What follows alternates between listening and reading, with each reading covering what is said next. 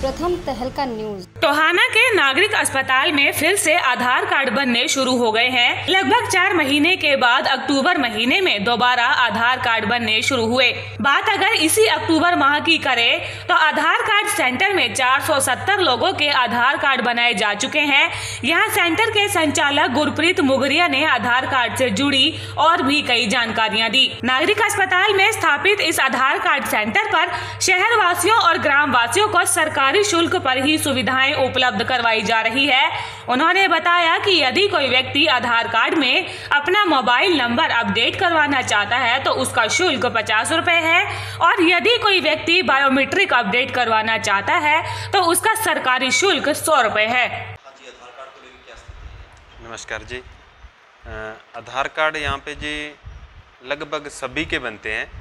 यहाँ पे जो बच्चे पैदा होते हैं उनके भी आधार कार्ड बनाए जाते हैं और बाहर से भी जितनी पब्लिक है, आम पब्लिक है या कोई किसी ने बाहर से ऑल इंडिया ओवर उनके पास आईडी हो, कहीं भी जाके आधार कार्ड बना सकता है और यहाँ भी आधार कार्ड बना सकता है। और यहाँ 470 आधार कार्ड इस माह बने हैं। और आगे से इसलिए कम है ये क्योंकि यहाँ पे पता नहीं था, पिछले कोरोना के कारण और उससे पहले भी कुछ किसी कारण ये सेंटर बंद रहा, कम से कम चार पाँच महीने बंद रहा। इसलिए पब्लिक को पता नहीं है, लोगों को पता नहीं है अगली बार ये बहुत ही अच्छा होगा कि सुविधाओं का लाभ ले, पब्लिक यहाँ पे आए, आधार कार्ड अपडेट करवाएँ, जो कि यहाँ पे आधार कार्ड अपडेट की फ़ीस है, जो अकेला मोबाइल नंबर ठीक करवाना है तो उसकी पचास रुपये फ़ीस है। यदि उन्होंने बायोमेट्रिक अपडेट करवानी है, जो कि फ़ोटो बदलवानी होती है कि फ़ोटो अब मैंने नहीं लगवानी तो उसकी सौ रुपये फ़ीस गवर्नमेंट ने रखी गई है, जो वही ली जाती है। इससे अलावा और ज़्यादा फ़ीस नहीं ली जाती जी।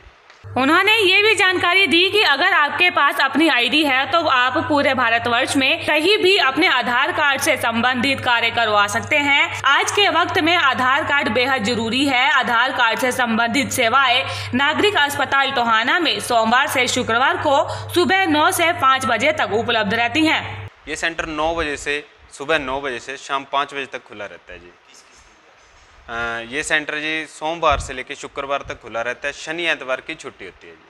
तो आधार कार्ड जो आप बनाते हैं व्यक्ति को कैसे आधार कार्ड ये एक U I D A I site है जी।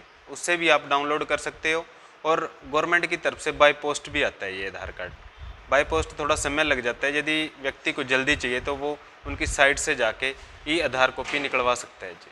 उन्होंने सभी नागरिकों से आह्वान किया कि अपने आधार कार्ड ज़रूर जनरेट करवाएँ और अगर इसमें कोई बदलाव है तो उसे भी बड़ी आसानी से सरकारी शुल्क पर नागरिक अस्पताल में स्थापित इस आधार कार्ड सेंटर पर आकर करवा सकते हैं। प्रथम तहलका के लिए टोहाना से नवल सिंह की रिपोर्ट।